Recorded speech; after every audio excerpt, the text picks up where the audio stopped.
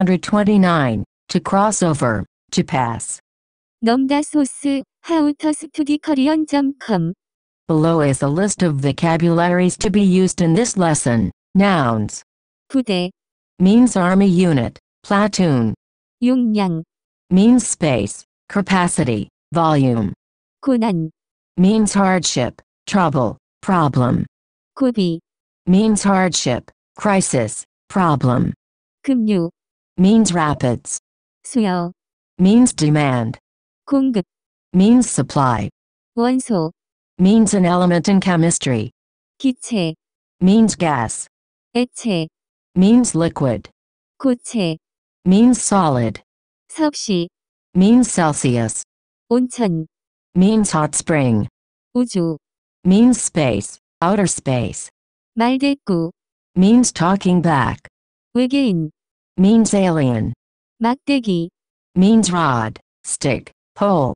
높이 뛰기, Means high jump. Verbs.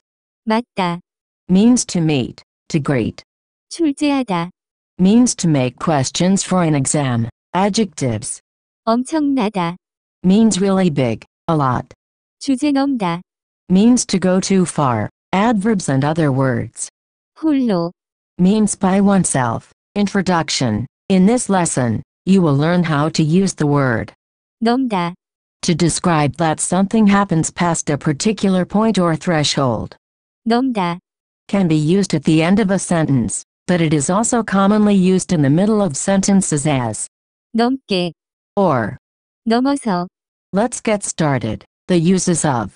넘다, First of all, it is common to use 넘다, at the end of a sentence or clause to indicate that something has gone over or passed or went over an object. For example, 내일 우리 부대가 그 산을 넘어야 돼요. tomorrow, our platoon, army group, has to cross go over that mountain.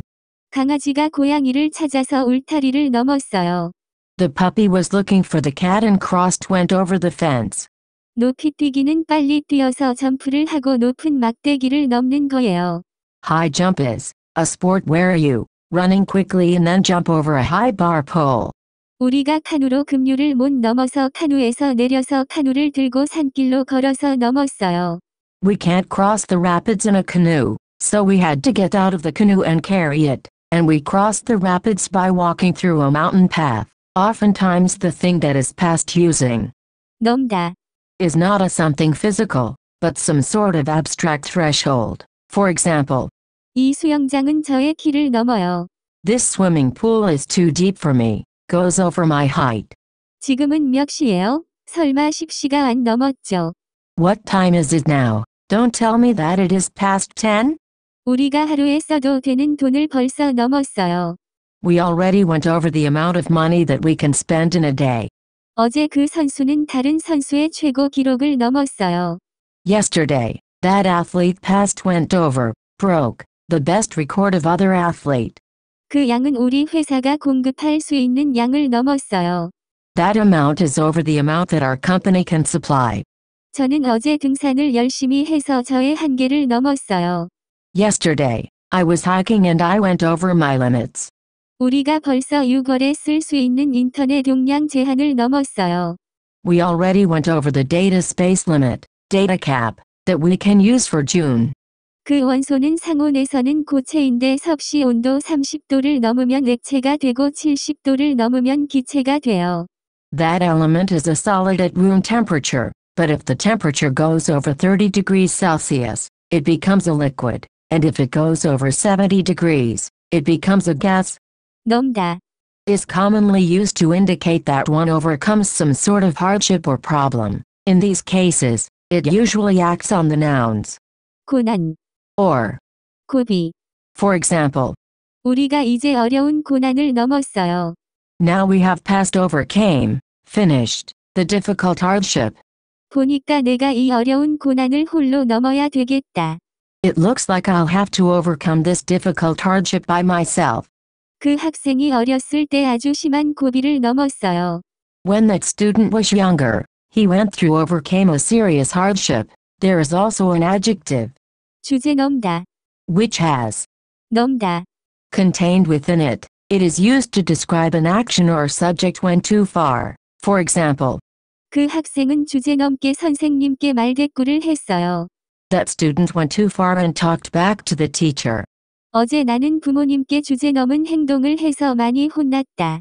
Yesterday, I went too far with my parents, did an action that was too far, and was scolded. It is often hard to come up with a translation for 넘다. In English, I have an image of what the verb looks like in my brain, but finding an English translation that can represent all of the examples above is difficult. I would like to share a story of when this word came up in one of my classes. I was talking about how many millions of people live in Korea, and I wrote down that 이렇게 million people live in Korea when I said 이렇게 I could hear the students laughing to each other. They all just said, 넘었어요.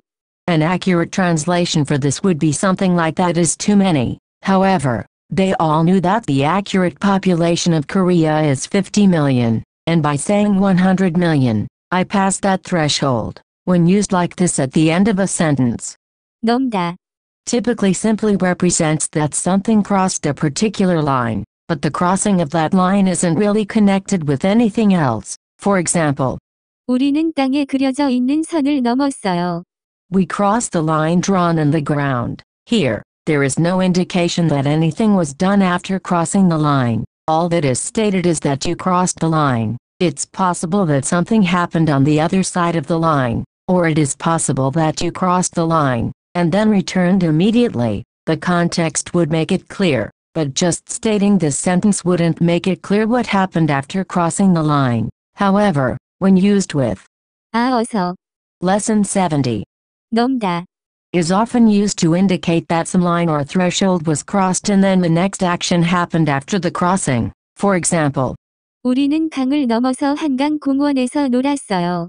we crossed the river and then played in the Han River Park. More examples. 그 언덕 넘어서 계속 가다 보면 온천에 도착해요. If you go over the hill and keep going, you will arrive at the hot spring. 어제가 시험 문제 출제 마감일이라서 다 하고 12시 넘어서 잤어요. Yesterday was the deadline for creating exam questions, so I did them all and slept after 12. 외계인을 찾으려면 인간은 엄청난 우주를 넘어서 지구와 비슷한 행성을 찾아야 돼요. In order to find aliens, humans need to cross a very large space and find a planet similar to Earth. It is common to use, 넘다. combined with, 개. Lesson 56, as an adverb, 넘게. is often used when some sort of countable thing is acted on more than the stated amount. For example, in these sentences, 을을. could be added to the object before. 넘다. However, it usually sounds more natural to omit the particle. 우리는 2시간 넘게 기다렸어요. We waited for more than two hours. 저는 일본에 20번 넘게 가봤어요. I've been to Japan more than 20 times. 90. 점 넘게 받으면 엄마가 선물을 사준대요. If I get a score over 90, mom said that she'll buy a present for me. 이 과자가 너무 맛있어서 10개 넘게 샀어요. This candy cookie is so delicious, so I bought more than 10 of them. 100년 넘게 이 식당이 한국 사람들이 제일 좋아하는 식당이에요.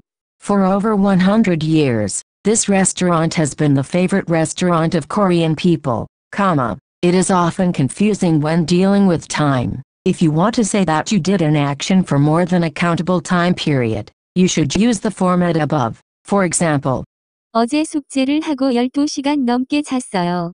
yesterday I did my homework and then slept for more than 12 hours. Notice in the above sentence that, like the examples immediately previous to it, the speaker is indicating that something is done more than the countable amount indicated. In the sentence above, we are counting hours. 시간, Is the counter for hours, and therefore, 넘게, is used. However, if you want to indicate that an action is done past a time, you should use.